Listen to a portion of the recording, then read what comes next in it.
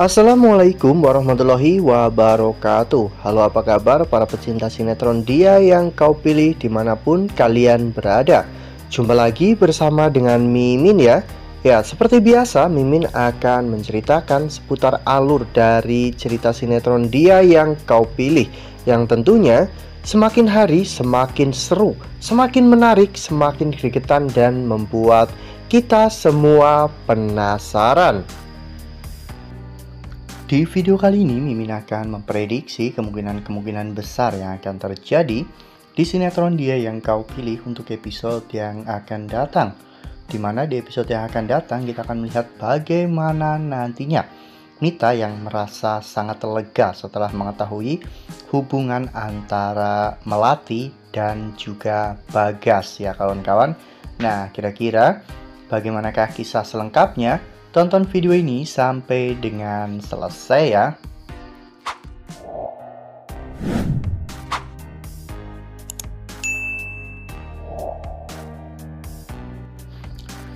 Di episode sebelumnya, kita semua telah sama-sama menyaksikan bagaimana kemarahan Mita terhadap Bagas ya kawan-kawan pada saat itu. Bagas bahkan menghubungi Mita, namun Mita tidak mau mengangkat telepon dari Bagas. Namun Bagas tetap berusaha ya kawan-kawan bahkan Bagas saat itu sampai bertamu ke rumah Mita.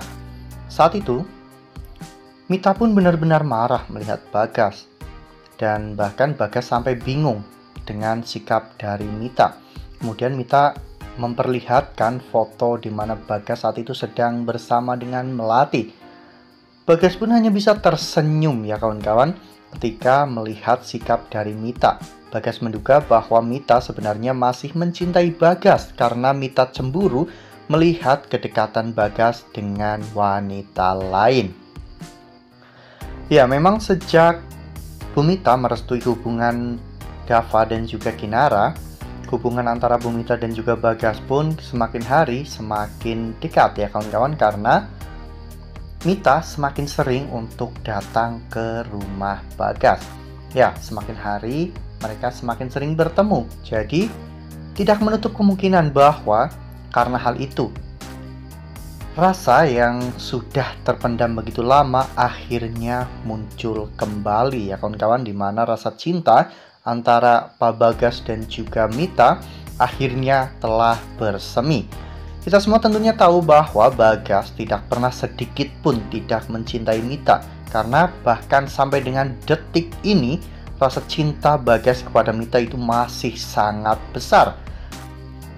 Begitu pula dengan Mita, namun sayangnya Mita sudah memiliki suami ya kawan-kawan, jadi Mita harus benar-benar menyembunyikan perasaannya terhadap Bagas. Namun kali ini kedekatan Bagas dengan Melati nampaknya membuat Mita cemburu. Oleh karena hal itu, Mita pun mengajak Melati untuk bertemu untuk membicarakan tentang permasalahan ini. Ya, jika nanti Mita akhirnya bertemu dengan Melati dan di sana mereka berdua pun membicarakan tentang Bagas.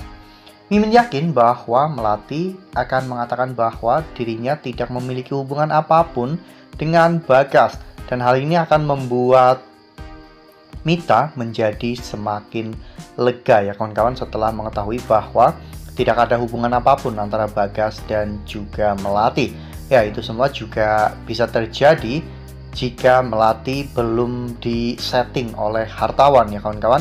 Karena jika Melati sampai disetting oleh hartawan dan mengatakan bahwa Melati adalah pacar Bagas, tentunya hal ini akan jauh berbeda karena rasa cemburu di dalam hati Mita pasti akan semakin membara.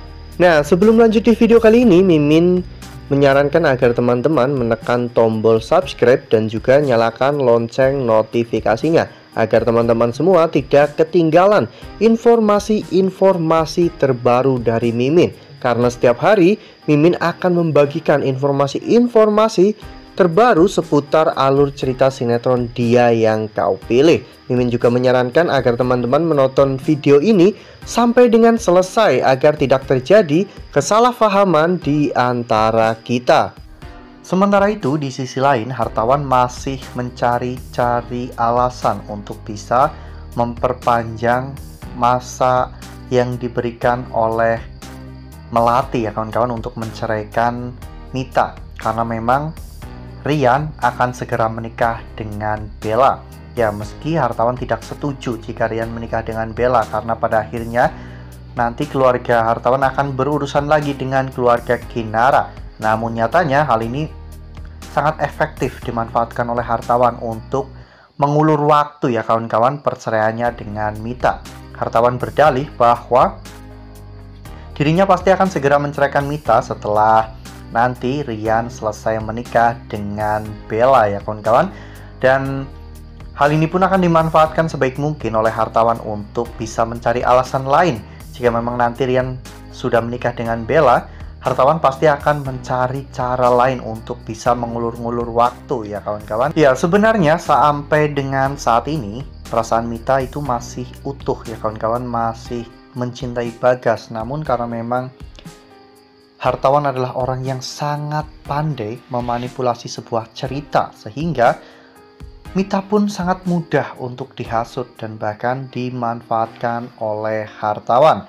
Ya, sampai dengan saat ini, hartawan nyatanya cukup berhasil untuk meyakinkan Mita bahwa hartawan adalah satu-satunya orang yang bisa dipercaya oleh Mita. Mimin takutnya nanti hartawan akan menggunakan Bagas sebagai kambing hitam. Ketika hartawan menceraikan Mita ya kawan-kawan. Karena biar bagaimanapun hubungan antara Mita dan juga Bagas yang semakin dekat tentunya membuat hartawan menjadi semakin marah. Dan ini akan menjadi kesempatan yang sangat baik bagi hartawan untuk menceraikan Mita. Wah, wah, wah, makin seru nih. Namun, jika memang benar hartawan sampai menceraikan Mita dan lebih memilih Melati, ini yakin Mita juga tidak akan terlalu bersedih ya kawan-kawan karena sebenarnya hati Mita hanya untuk Bagas. Mimin yakin setelah Mita berpisah dari hartawan dan lepas dari semua pengaruh hartawan. Mita akan dengan senang hati untuk bisa kembali bersama dengan Bagas dan menikmati hari tua mereka dengan bahagia bersama dengan anak cucu mereka yaitu bersama dengan Dava, Kinara dan anak-anak Dava nantinya. Ini akan menjadi sebuah akhir yang cukup membahagiakan bagi Mita ya kawan-kawan jika memang Mita benar-benar bisa kembali dalam pelukan Bagas. Nah, itu adalah prediksi dari Mimin. Menurut teman-teman bagaimana nih? Apakah nantinya Mita bisa kembali kepada Bagas atau justru malah sebaliknya? Mita akan semakin membenci Bagas. Tuliskan pendapat teman-teman semua di dalam kolom komentar ya. Nah, Mimin rasa cukup sampai di sini. Mimin memberikan informasi seputar alur cerita sinetron Dia yang Kau Pilih. Terima kasih juga untuk teman-teman semua yang sudah menonton video ini sampai dengan selesai. Ambil sisi positifnya dan tinggalkan sisi negatifnya karena cerita ini hanyalah 50 belaka. Wassalamualaikum warahmatullahi wabarakatuh.